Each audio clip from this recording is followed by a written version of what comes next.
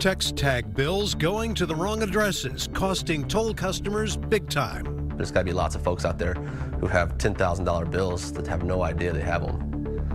And that's just alarming. They got to find a new system. Last night on KXAN News, we revealed a system not working, a system that should be catching those mistakes before slapping you with late fees. There are huge discrepancies with the address system, the way that text.textag works with DMV. We, we are using the addresses that we have with DMV, so they should be getting their bills. And TxDOT blaming you for the frustration you're experiencing with their process. These poor guys, they have I'm sure not a clue that there's some outstanding bill that they haven't received. But happy to report we have some good news tonight as we've learned a new fee structure is set to take effect on March 1st and it should help with future toll charges. And KXAN investigator Brittany Glass tells us about some other big changes in the works and hopefully relief in sight for at least some of the millions of TxTag customers who've racked up massive fines in the past year. We've learned by the end of this month, the collections agency sending drivers all those late fees will no longer be contracted with TxTag. Since right around the time we started investigating, there have been no additional accounts sent to collections. And if you still owe a late fee and actually know about it, they're trying to work with customers by giving out discounts. Still, some state lawmakers are not satisfied and want to make sure TxDOT truly fixes these problems for drivers' financial future. Taxing Texans to drive. That's how Senator Bob Hall sees tolls. The patchwork of systems we have, first of all, confuses people. So fixing the TxTag system is his priority ahead of the 2019 legislative session. The cost of collection, the huge agencies that the various tolling authorities have that are just co consumers of money. Following our initial investigation last fall, the North Texas lawmaker was one of a handful of state leaders who questioned the agency about TxTag operations. He wrote to TxDOT heads he's disturbed by certain toll tactics, like trying to fool the public by simply removing the word toll from the title, using the term managed lane instead. Senator Don Huffines gave his concerns too about the public finance decisions being made and their ramifications for Texas taxpayers. Telling TxDOT managed lanes only cater to people with money. Others can't afford the same opportunity to avoid traffic.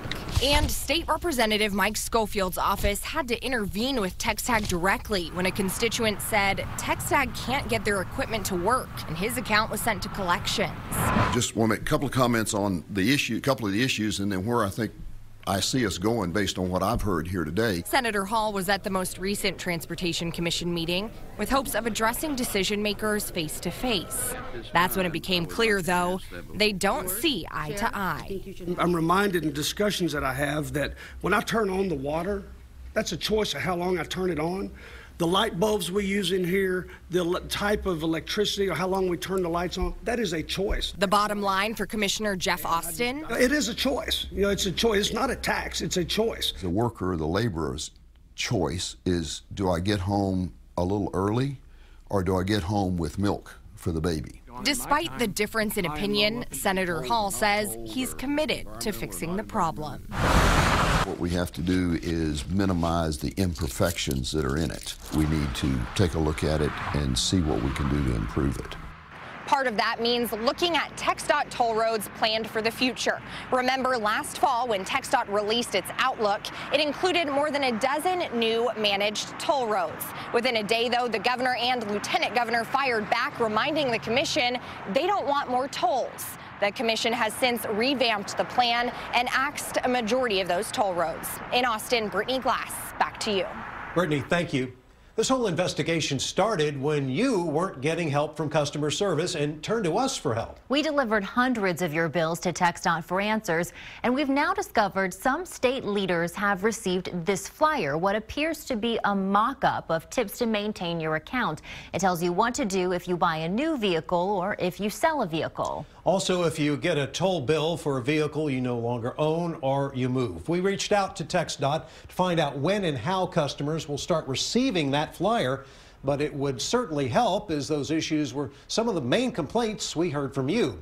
KXAN State of Texas host Josh Hinkle has also been speaking with lawmakers on our political program about the changes that are in the works. Yes, and one of those lawmakers, Representative Tony Dale of Cedar Park, he has two toll roads in his district, and he says he was encouraged by these developments. The most significant before collections and customer service billing contracts are with two different entities, which was likely behind a lot of the confusion and miscommunication. Starting next month, it will all be combined under one entity Conduent. Dale says it's a promising first step, but there's still a long way to go.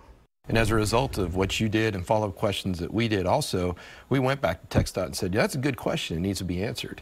And they went to Conduent, the company that manages the TxTag system, and now they've forced them, essentially, and Conduent has agreed to do what's called skip tracing so that if someone has moved, and this is a problem with people moving and not updating their information, but now Conduent does this skip tracing, so that should result in more people getting their bill in a more timely manner.